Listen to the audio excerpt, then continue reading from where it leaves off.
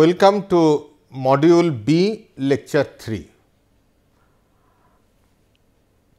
In lecture 2, we discussed about the overview of the travel demand forecasting process, particularly the role of the travel demand, how we use the year you know and the horizon year uh, for doing the travel demand forecast, how we develop the models in the year and we apply it those models in the horizon year. Then we also discussed about uh, specification, model specification, then model calibration, validation of the models, how it is done in the four stage planning process and also forecasting using the calibrated and validated model. Then we briefly introduced various types of information that are required for travel demand forecasting process. So, this will be our point to carry forward the discussion in today's lecture. So, the information needs may be classified under four broad categories. First, information related to study area, information related to urban activities, information related to transportation systems and information related to travel information. All these information data are required, decisions are required and once we have all these information in hand, then we can go ahead with the travel demand forecasting process using the four stages trip generation, trip distribution, mode choice and traffic assignment. First about the study area. The study area in the context of study area, the very first thing what need to be done is defining the boundaries. What is our study area? That is to be defined. We do the transportation planning for a for an urban area, but then how we define the boundary of that urban area for our study purpose or for our four stage planning purpose. So, before extracting or before even forecasting travel for an urban area, it is necessary to define clearly the exact area to be considered for four stage planning or transportation planning. What this area should include? Generally or naturally, this must include the area which is presently developed. In any city, whatever uh, wherever people are living now, where intense land use activities are going on, where commercial areas are there. So, the presently developed area obviously will be included, but remember we are doing these transportation planning studies keeping the next 20 years or more in mind. So, if we consider only the presently developed area, then it is not adequate. So, along with the presently developed area, we also have to consider the area which are likely to be developed within the next 20 years or 30 years. Those areas also we should include within our study area. Then only with the future allocation as I said models we develop not for the you know year. We develop model in the base year, but the very purpose of model development is to apply those models in the future year or horizon year. So, if we want to apply it for horizon year after 10 years or after 20 years, we must be able to consider the land use allocations at that time, right. So, which is likely to be uh, encompassing the area beyond the presently developed area. Now, this imaginary boundary what we are drawing to demarcate our study area, remember that I am saying imaginary boundary, we are not building a wall, right. This is just an imaginary boundary right to demarcate that that is what is my study area or anything which is within that boundary the geographical area is our study area. So, that imaginary line boundary line is actually called a cordon line right. So, cordon line defines the boundary of the study area. Sometimes we call it external cordon also, right. We use this terminology external cordon. In addition to considering uh, the future growth, the establishment of the cordon line should also take into account the political jurisdiction, the census area boundaries and the natural boundaries. Why we said this? Why this important? Remember that we require lot of other data. Say for example, we need the population data, we need the uh, economic census data, different types of employment and all other things, right we also need the vehicle ownership data. So, if I do not match my whole study area boundary with the census boundary, then how I can readily use the data? I will not be able to readily use the data, right.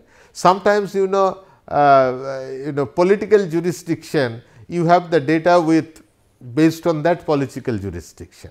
So, try to match as far as possible the political jurisdiction, census area. I should not unnecessarily we should not cut these areas, because if, if we cut in extreme case if we if we really have very uh, genuine reasons and if it is unavoidable you have to cut, then remember that uh, the data we will not be able to use directly, because whatever data will be there, data will be available based on census area uh, demarcation or political jurisdiction area demarcation, right. So, you have to then Uh, if you get okay population is x thousand, then in our study area we have to calculate separately that out of those x thousand how many will come or how many will be there in our study area depending on development, depending on the kind of land which is included or excluded. So, it will increase the complexity. So, as far as possible we try to match with uh, the political jurisdiction, census area boundaries and natural boundaries just to uh, so make ourselves comfortable and so that we can uh, use very conveniently all the available resources in terms of data. The other important point is the cordon area or the cordon should intersect a minimum number of roads. We do not want to the cordon to cut many roads. Why? Again there is reason. The reason is that this is an imaginary line, it is not a boundary wall. So, whatever line you take because land is continuous, always and some roads or other will get cut imaginary through this imaginary line. So, always through those roads some trip or some vehicles some trips will uh, interchange will happen between our study area and outside. So, we define a boundary. So, some trips will definitely go out of the boundary will come from external area to our study area and we have to account or we have to count those trips how we will count? At all the locations where the roads are intersecting the cordon line, we have to do the traffic volume survey, we have to do the OD survey, right. Then only we know how many trips are coming from outside area. So, we want to minimize our effort, okay? minimize our effort.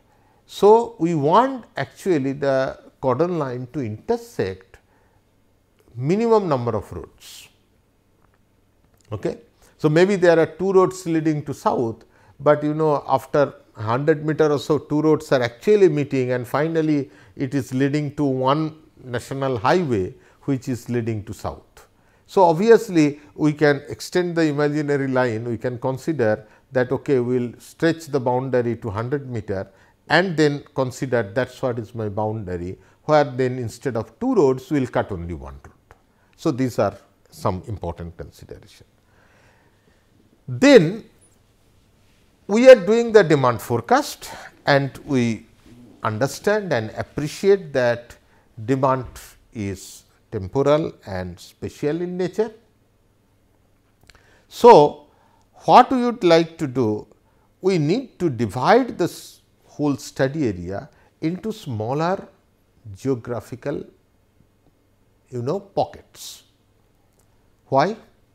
Because you say just just imagine any city there is parking requirement. So, you estimate where you know how many parking requirements uh, places are required. I say in the whole study area somewhere in the town I will provide that many parking space. Will that work? That will not work. Why it will not work? Because you need the parking place where there is a parking demand and this where means you are we are attaching it to a geographical reference. Maybe where the market is there, there you need parking, right. So, the transportation demand is so much spatial in nature, if we work taking the whole study area, the total trip generation and then you know all the things taking the whole study area, it will not work. So, we need to then once we have defined the study area that is the first job, then the next job is to divide this study area into suitable small pockets. Those are called zones. So, that is what I have said here the study area must be divided into analysis units to enable the planners to link information about activities, about travel and transportation to physical location of the study area. That is what I said tagging to the geo reference or the geo coordinates right spatial pattern. So, when we do it, is it that we just simply cut it and divide it by 10, divide it by 50, 20, 70, any number? No, there are also. We need to divide them into smaller uh, units, but there are again certain principles which are very important. For example, where you have high intensity development, typically the CBD area, central business district, the city core, very high dense development. So, there obviously will have smaller zones. As you are coming to the suburb or outer periphery, maybe the intensity is of development is low, some areas may not be that uh, densely or that way that is not may not be that developed. So, there you consider bigger zone. So, the typical thing is smaller zones in the CBD area or high intensity development, little larger zone in the outer periphery or low intensity development. Similarly, uh, when we are deciding the zone boundaries again like the study area boundary, when we are deciding the zone boundary, then also we would like to uh, you know keep in mind the uh, the the uh, the census designations, natural boundaries, these are again important. Okay. Why? Because as we need the population data, employment data, vehicle ownership data for the study area, eventually we need the data for each pocket also, each zone. So, obviously, we would not like to break that you know census designations or you know the way the uh, uh, transport department or the motor vehicles department they keep the vehicle registration data and so. So, those boundaries as far as possible we will try to retain. We do not want to unnecessarily break it. You know some cases if you are you know bound to break then you have to think you have to again do probably another set of uh, models you have to develop. Uh, another round of modeling will come that if my total uh, you know census data is like this for a zone and I am using part of that as my zone in my study area, then what will be the population for my study area zone? Again some kind of modeling and some work will get will be involved, right. But we normally do not want to do that, we try to match it. And a residential, a, a zone may be uh, completely residential, uh, maybe all commercial, or all industrial and we try to make it as homogeneous as possible. Why I am saying this uh, that will be known when we go for the trip generation and other um, stages in details, but uh, we try to make it as homogeneous as possible, but sometimes uh, it is okay also. That that does not mean that every zone will have uh, you know residential only or no other activity or only other activity residential is 0 that you may not get, but try to make it as homogeneous as possible. Each zone should be homogeneous right. Also it is an important consideration as I say that compatibility with the transport network, because the zones are geographical reference where actually the production and attraction will happen, but how the exchange will happen? Exchange will happen through the transport network. So, again in the same way we do not want we have to keep in mind when we are defining the zones okay, or dividing the study area into suitable number of zones where are, where are our roads, right. So, it is a natural or it is a general practice or I would say it is a good practice. We try to keep the road network as in the boundary of the zones. So, that you know from adjacent zones you can again load it to the uh, on the network. The travel may be loaded on the transport network. Then next part that is what about the study area. So, defining the study area and dividing the study area into suitable number of traffic analysis zone, right. 2 is urban activities. Now, once the study area has been divided into appropriate analysis unit, we need information, information related to what? Activities. So, activities for each of these traffic area zones or, or traffic zones. So, and in this case stage knowledge of the forecasting procedure uh, is essential since we want to get data only those data which are actually relevant. Many cases uh, you know it is not a healthy practice, but you will find people go and simply start getting the data, get the data. Now, you in the process you put so much of effort to collect data maybe many of the things you have collected which are really not required for the work you are doing. So, you must consider what work you want to do, what is the real requirement of the data and accordingly only collect those data which are important for you and relevant for you. We do not need to collect any data which are not required. So, we must understand that you know we must have knowledge about the forecasting procedure, so that we know what data is actually required and we collect only those data. Activity analysis is usually done on a zonal basis providing the intensity and characteristics of activities every time have same. Whenever we talk about activity, the intensity of activity is important, but the character is also important. Intensity means number, how many housing, how many households, right but also the character is important whether it is low income, medium income, high income. If it is an employment zone then what kind of employment that is the characteristics. So, the intensity and characteristics both are important. The results of a typical activity uh, analysis provides the planner with the present level of activities in zones to help in predicting future levels that provide a basis for the forecasting. You know, we can also you know do historically we can take the data and then you forecast right. You can simply do the population forecast if you know that how the population is growing over uh, last several decades you can just forecast it. How the employment opportunities are how the employment data is growing you can simply forecast that. That also you can do also you can get the take the information from the uh, planning authority if they have any specific plan program for development of an area uh, maybe a new residential area is to be developed or a new IT park to be developed such kind of things may not come in from the trend only. So, trend may be used and also additional information can be used to make this estimate activity uh, both the quantity and also characteristics as you know realistic as possible.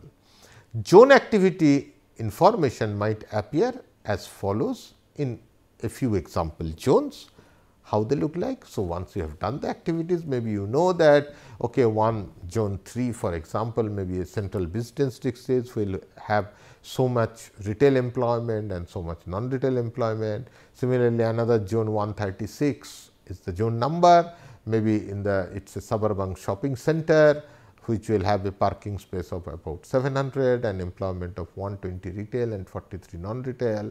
Or maybe another zone which is expected to be more like a residential zone which will hold maybe about 1200 people will live or with about say uh, 400 household and with some income and so on and so forth. That is the kind of type of it is just an example. That is the kind of data which are expected to be available to us uh, based on this work. Then the next information, next category of information we talked about uh, traffic zones, we say that the, the, the, study area, then we talked about the urban activities, the third is basically the transportation system. Now, this is again very important because how travel takes place? Travel takes place through the transportation network only right. The transportation network is basically then the, the linkage that provides the linkage. So, transportation system allows urban activity to communicate with one another right. So, people travel to work, to shop, to visit friends and how do they travel? They travel using the transportation network. So, in cities any city you take you will find some areas which are directly connected and which area may not be directly connected. In some cases you can travel very faster because the road is quite wide. In some cases you cannot uh, travel so faster. Maybe some areas you have bus available, bus system available, bus services available, in some other it is not there. So, we need to really develop this database related to the transportation system very well so that actually we can do a meaningful work. So, the variation of the accessibility requires the planner to describe the transportation system in terms of geometry and level of service both, both are important. What is geometry? Geometry is simply what connects what.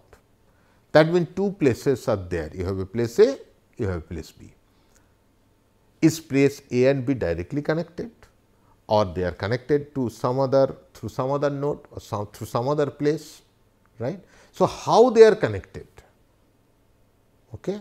Uh, whether they are connected or not the connectivity that is basically the geometry what connects what.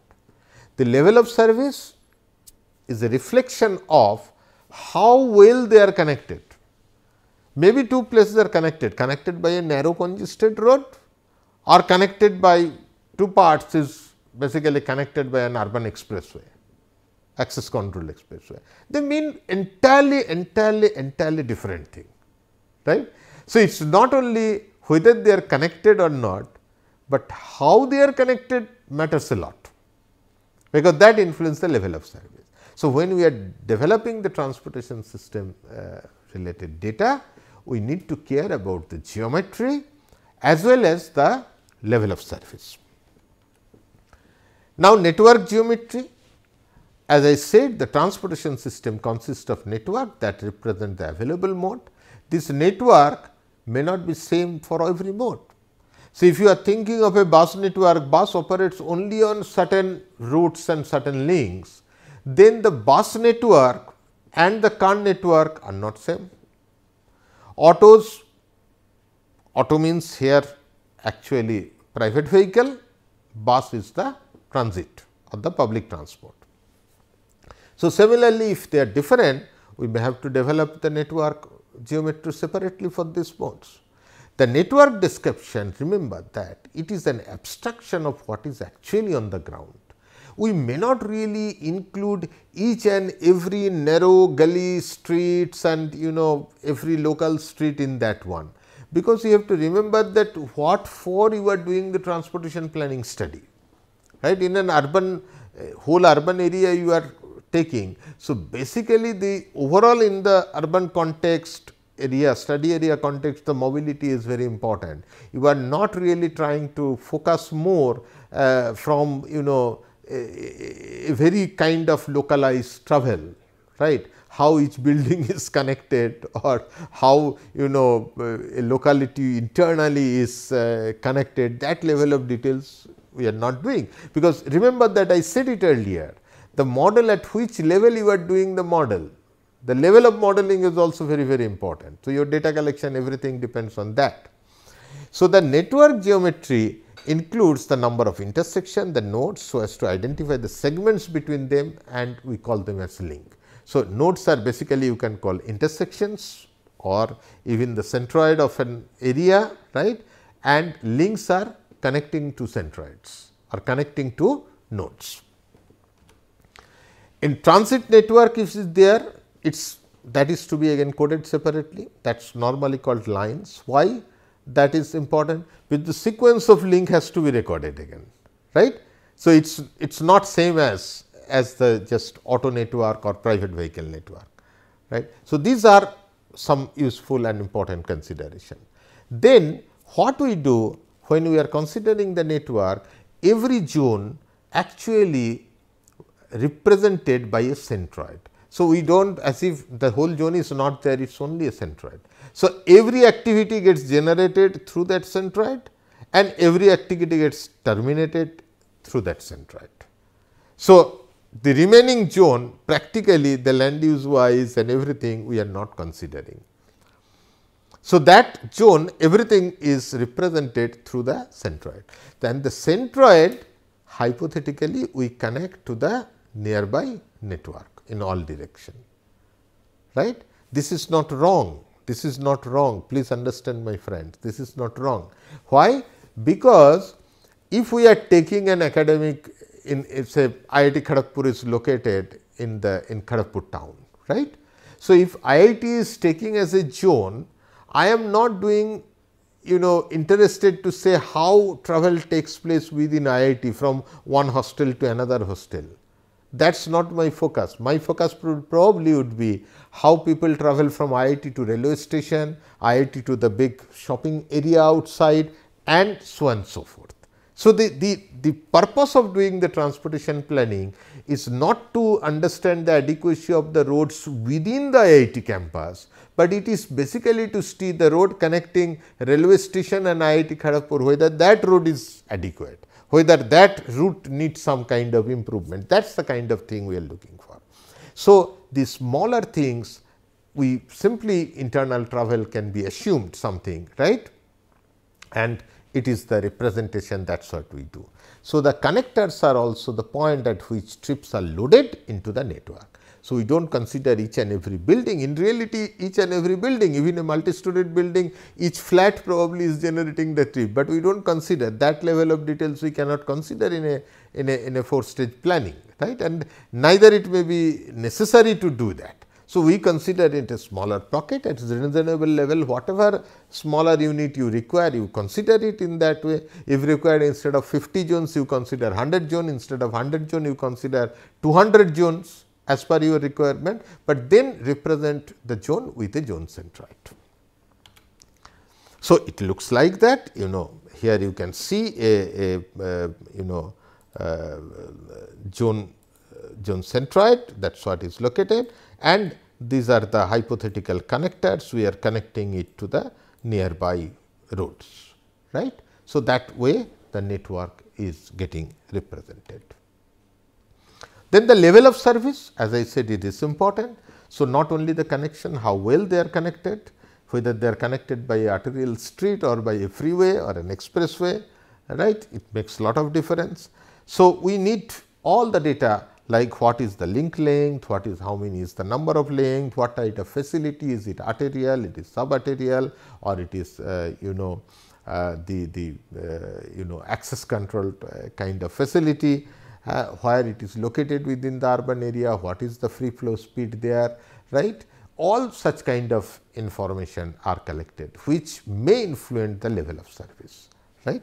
So, all these are connected. The transit network as I said is different because uh, both the links and the sequence of links are very very important. A bus route will take it will take this link then take right turn from that uh, from that uh, you know uh, uh, node or the junction take right or left turn and then follow this link. So, there is a specific sequence. So, that needs to be again recorded and along with that how much is the travel time or the journey time that is needs to be calculated. Okay. So, we need both link and the lines, lines particularly for the public transit because transit case it is called line, a sequence of links that forms the line. So, the first level is a system of links that define the segment of travel facilities between node, the travel time, the speed, the distances of uh, you know required uh, to be traveled within a link and so on and so forth. The second level is network of lines in the context of public transport. That then overlays the link and defines the fixed route, uh, requires each link or each line rather be defined individually along with its service headway and the series of links over which it travels. So, bus route you know that every 10 minute, every half an hour or every 20 minute the bus is available. So, what is the service headway, what exact sequence of links it will take and then how much will be the journey time typically right. All these are the next level or the second level detailed information that are required for public transport. So, with these items of information about the highway and transit network, here highway means it is actually referred to the private vehicle network, right. Not that highway means it is national highway, not like that. Highway network means in this sense, uh, you know, it is basically the private vehicle network and transit networks.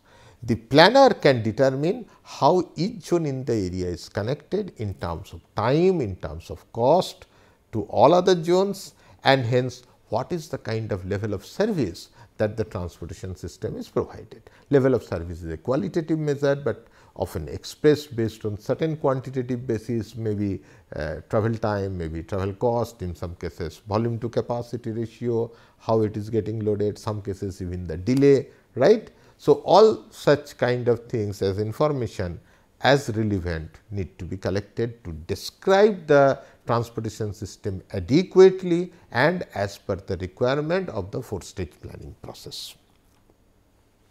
So, if I have to summarize I say in this lecture we talked about the you know in details about the travel demand forecasting uh, whatever is the uh, requirement information needs for the travel demand forecasting and we discuss the uh, information requirement for three aspects namely the study area, what we do, how we define the study area boundary, how we divide them into different zones, then what are the data required typically for the urban activities and also uh, related to transportation system, what are the data we required we also specifically mentioned about the network geometry and the level of service both are important. Also said the private vehicle network and the public transit network data uh, requirement and how even the public transport network requirement data will be different from the private vehicle data right. So, all we try to uh, discuss and understand the kind of data requirement. What is remaining is the travel related data because you remember that four broad areas we said the data requirements are there. So, the travel related data that we shall discuss in the next lecture. Thank you so much.